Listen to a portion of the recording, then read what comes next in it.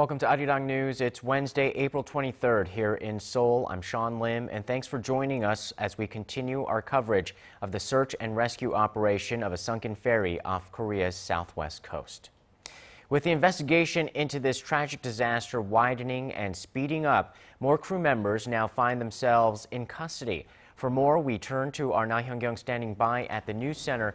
Hyung-kyung, what's the latest on finding out who's responsible? Well, Sean, the special prosecutorial team is broadening the scope of its investigation, and authorities are now looking for irregularities in the overall port operation business. Offices of the Korea Shipping Association were raided in the afternoon, and that came after the team raided some 10 offices and homes of the practical owner of the Sewol-ho ferry operator Yu Byung-won earlier in the day.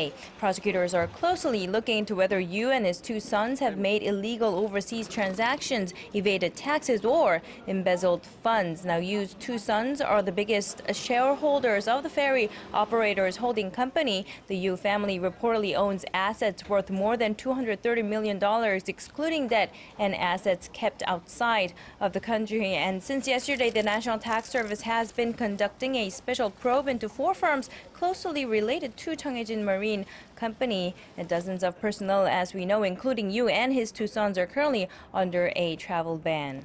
And I understand we have some screenshots from the time of the accident that shows that the crew could have released more of the life floats. That's right, Sean, and that's contrary to what one of the arrested crew members said yesterday. Let's take a look.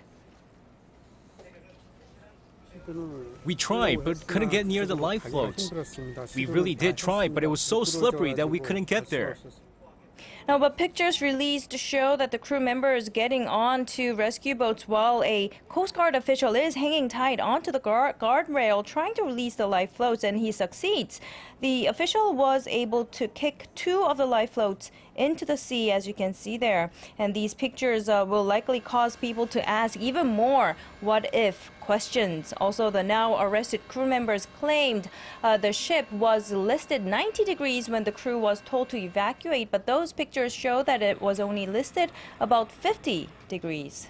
And we're just getting reports that investigators have actually charged crew members with homicide. That's right. The police and the prosecution that are jointly investigating the case say they've charged those taken into custody with negligent homicide. Investigators believe the crew members had room to at least try to save the passengers. Now, 11 out of the 15 crew members who all survived are now in custody. Among those is, of course, the captain, Captain Lee Jun-suk. He is charged with five offenses, including negligence of duty and violating ship crew law, which mandates the crew to secure the safety of all passengers in emergency situations. Some of the crew have reportedly shown signs of regret, admitting to their mistakes and saying in hindsight they should have taken rescue measures. In the meantime, we are learning that North Korea has expressed condolences for the victims of the ferry. Uh, yes, South Korea's Unification Ministry says a telephone message was sent Wednesday afternoon by the chief of the Red Cross Society of North Korea and was addressed to the president of the South Korean Red Cross. The message uh, simply expressed its deep sorrow over the many victims of the ferry disaster. Uh, the last time Pyongyang sent a similar official message was in 2003 when a mass fire at a subway in the city of Daegu resulted in some 370 casualties and also when a typhoon killed nearly 200 people. That was also in 2003. Back to you, Sean. All right, thank you, Hyung-kyung. Well, turning back to the investigation into the ferry sinking, another solid piece has been added to the puzzle of what may have caused the Sewol-ho ferry to capsize abruptly. Only a few weeks ago, crew of the Sewol-ho ferry reported that the ship's steering unit showed malfunctions. Our Park Ji-won has details on how their repair request fell upon deaf ears. This is a repair request form submitted by the crew of the Sewol-ho ferry to ferry operator Cheonghaejin Marine Company about two weeks before the tragic accident. It says the steering gear of the now sunken ferry was sending no voltage warnings. Crew members said they had to reset the power and rely on an onboard power supply while they were waiting for power to be restored. The request form added the fundamental cause of the issue was unknown. However, the ferry operator took no action on the issue. Korean broadcaster YTN reported Wednesday that a ship repair company that had worked on the Sewolho ferry before said it had not repaired the steering gear of the Sewolho ferry any time recently, nor had it received any repair requests about the steering gear. Experts say the steering gear is key to safe sailing for a ship, that any problem in the steering gear increases the likelihood of an accident, and that ships with steering system problems should be prevented from setting sail.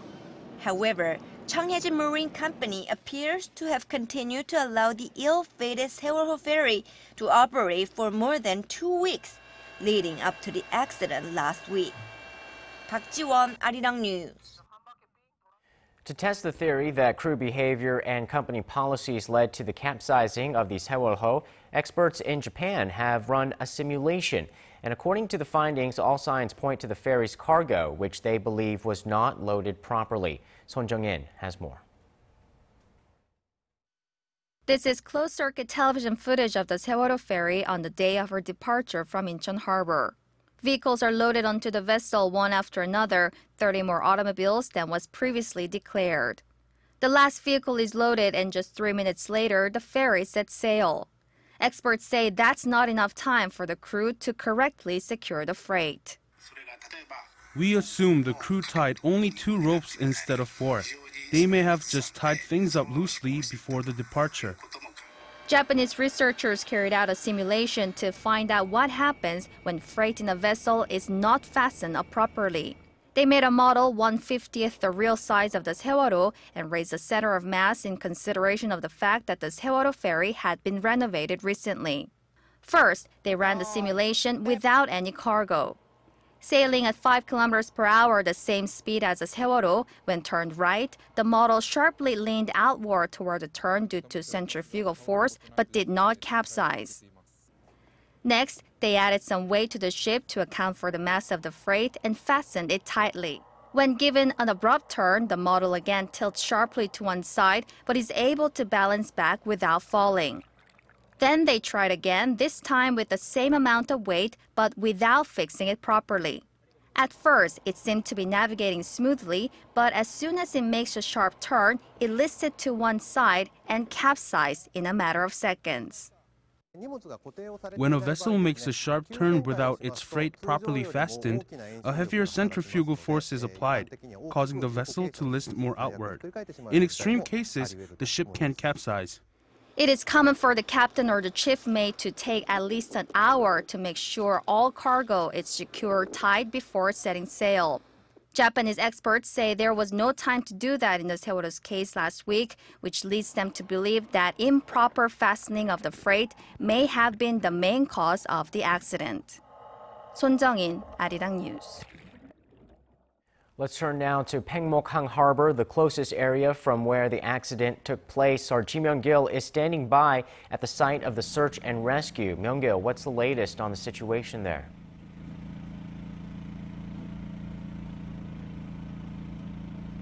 The death toll is rising fast and currently stands at 156.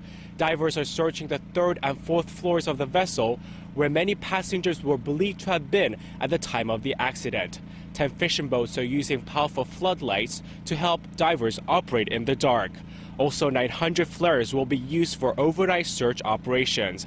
However, if ocean currents become strong, divers may have to temporarily suspend their search operations. Some 150 people remain unaccounted for and are presumably trapped inside the sunken ferry.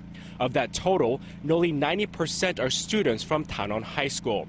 Temporary funeral parlors were set up at the Pengmokhang Harbor today to provide funeral services to families who lost their loved ones. So, how are the families handling this impossibly difficult situation?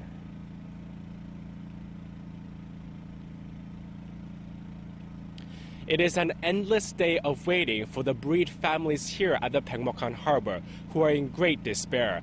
I got a chance to talk to a father whose son was on the sunken Sewolho ferry. He said when he first received the news, he was assured by Danwon High School that his son was alive. He remains one of the missing. My son was very gentle. He was a quiet boy and never disobeyed us. He would listen to all the things we would say to him as parents. He was very diligent and thoughtful. My son, I feel really sorry for the things I wasn't able to give you, although sometimes I scolded you. That was because I loved you so much. I love you, Chungmin. It's heartbreaking to think of the horror you must have gone through. The father said he wanted the sunken vessel to be lifted to the surface as soon as possible so that he could see his 18 year old son for one last time. This was Kim Young-gil reporting live from Pengmokhang Harbor. Thank you, Myung-gil, and we'll be back in a second.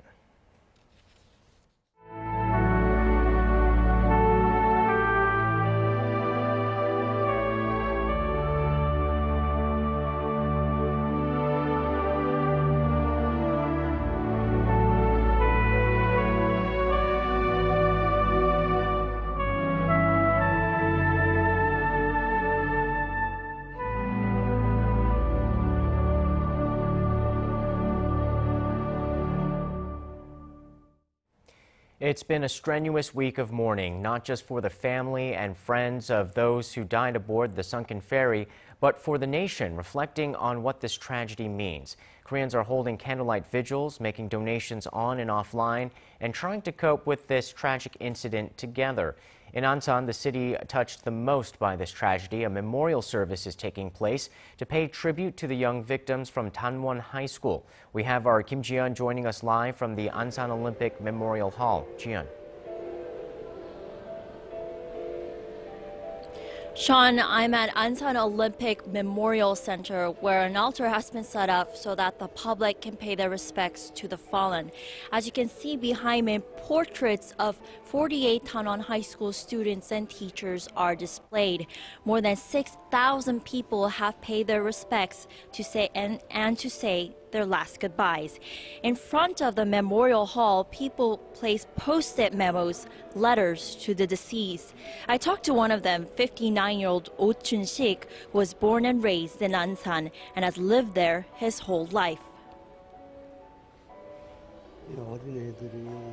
I hope the students are in a better place, and I pray that their hopes and dreams that they had here are fulfilled there instead. I have an aching inside that cannot be put into words. This is a temporary altar, and local people, authorities are set, setting up a great uh, funeral so that in a larger location so that other people can come in. A grand funeral will be held in the Ansan's city's Hwarang Recreational Park where people can come in and pay their respects starting Tuesday. Jian, how have volunteers stepped up to help with the memorial arrangements?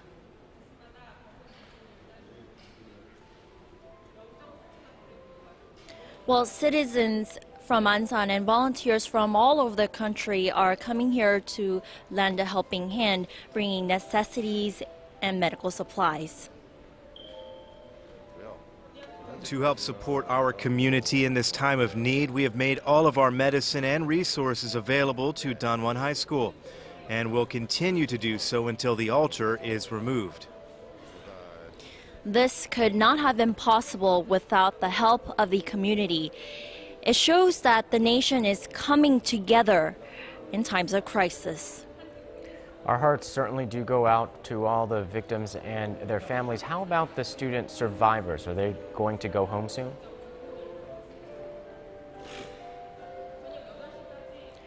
A majority of the students could leave the hospital later this week, but some of the guardians of the students want to let them stay put in the hospital due to concerns of mental trauma. In high schools, some 50 counselors are on the ready to provide regular counseling sessions and medication if they are needed. This was Kim Jian live at the Ansan Olympic Memorial Hall.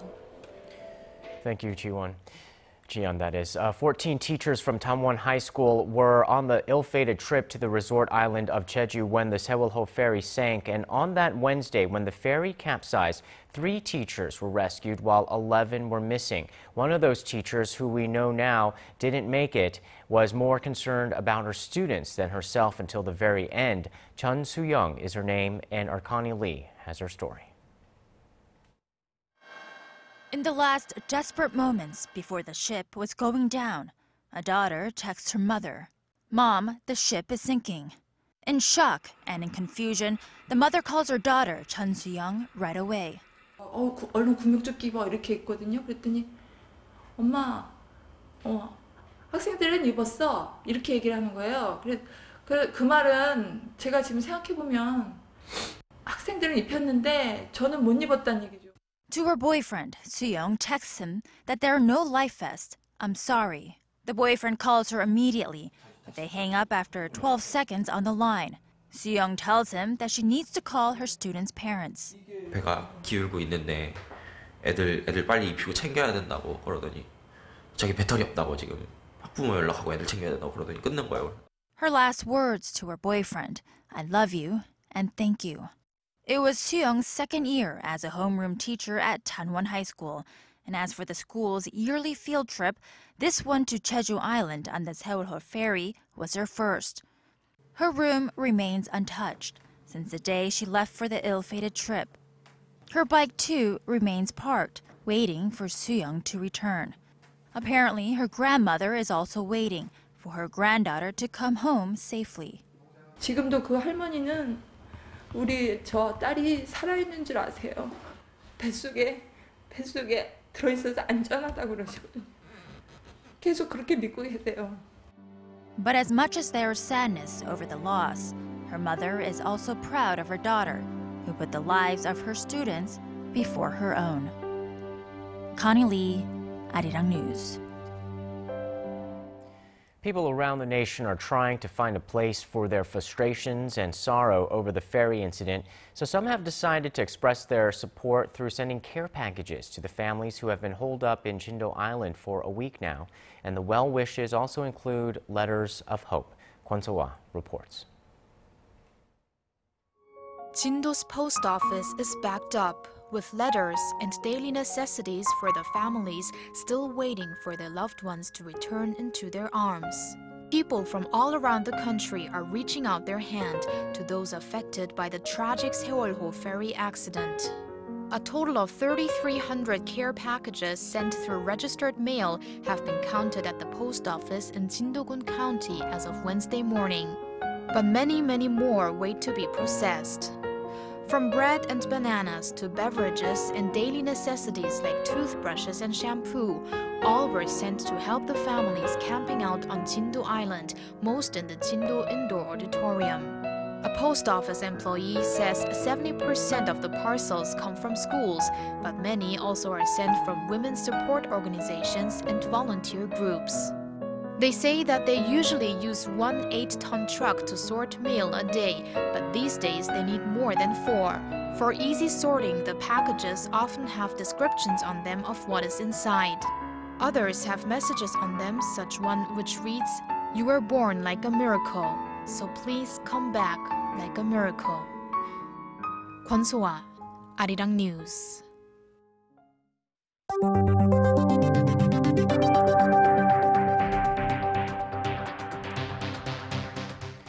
After the tragic Sewol-ho ferry accident, which took many innocent lives on board, the government is now stepping up to prevent future accidents from happening here in the nation in hopes to make Korea a safer place. Our Lee Seung-jae has more on this drive to enhance nationwide safety checks. The Sewol-ho ferry tragedy has forced the government to take a look at the level of safety awareness and preparedness in the nation. To make sure such accidents are prevented in the future, the government said Wednesday that it plans to carry out intensive safety checks on all major industrial and transportation facilities in the nation. The inspections were ordered by President Park Geun-hye and Prime Minister Chung Hong-won. Improper safety inspections have been blamed as one of the reasons for the disaster.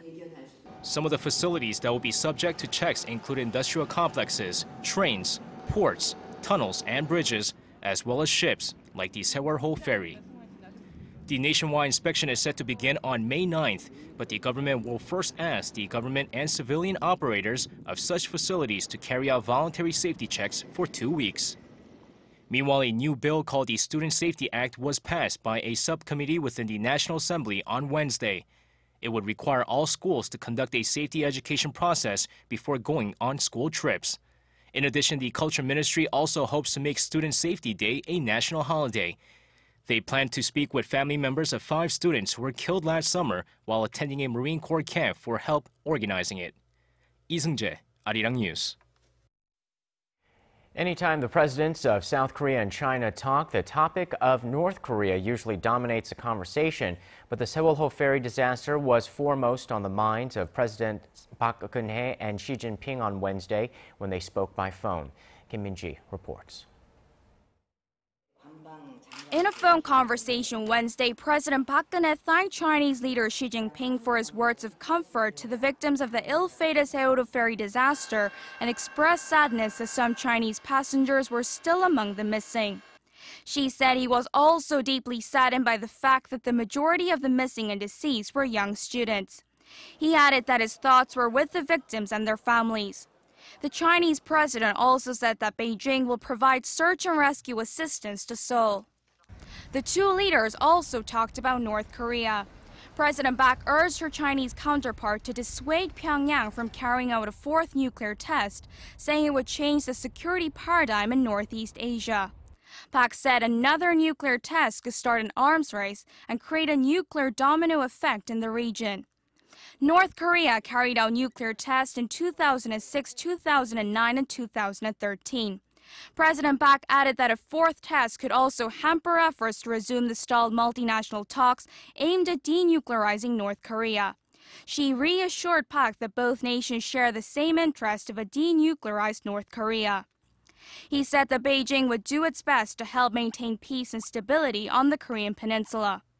The Chinese leader added that he would encourage dialogue between the related parties and also express support for the trust building process initiated by Park and for a peaceful reunification of the two Koreas. Kim Min-ji, Arirang News. North Korea is fully prepared to conduct another nuclear test, according to the South Korean government. With U.S. President Barack Obama on his Asia tour this Wednesday, there's been fresh speculation that Pyongyang may attempt to make a statement while he's in the region. Shin Se-min has more on whether that gesture will take the form of a fourth nuclear test. South Korea's defense ministry says North Korea is ready to conduct a nuclear test at any time. In a press briefing Wednesday, a Ministry of National Defense official said the North Punggye-ri nuclear test site appears to be on standby with an open ticket in hand. This would run counter to what a recent report by the US-based North Korea analysis site 38 North suggests. It says it's unlikely that the regime will carry out a fourth nuclear test while US President Barack Obama is visiting the region over the next week. The report cited analysis of satellite imagery, which indicates the recent activities at the nuclear site differ from those leading up to past tests. But a Korean official said the data on the 38 North website is different from what the government has. The U.S. says it is keeping close watch on movements in the North amid speculation that it may carry out a fourth nuclear test. Speaking to reporters on Air Force One, White House spokesman Jay Carney said the U.S. is monitoring movements at the North Punggye-ri nuclear test site. The U.S. State Department echoed Carney's sentiment and urged North Korea to exercise restraint. We continue to urge North Korea to refrain from actions that threaten regional peace and security and to comply with its international obligations and commitments. Shin Se-min, Arirang News.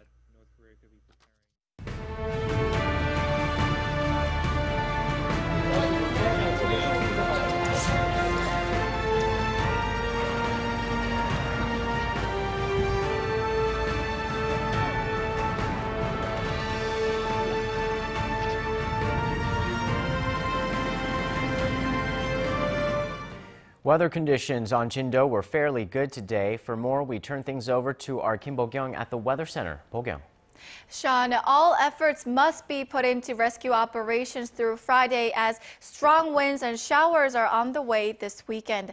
Well, at the moment, some relief that wind speed has dropped to 1.6 meters per second, which is about one sixth of the speed that we got yesterday at this time of the day. Also, waves remain fairly calm at 0.5 meters.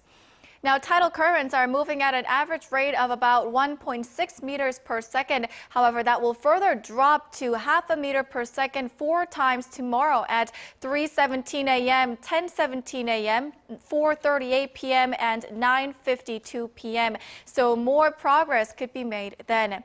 The weather on Chindo for tomorrow looks to be better than today. Sunny skies are forecast with calm waves and breezy winds. Well, that's all the weather updates I have for Chindo at this hour, and I'll be back with more after 10.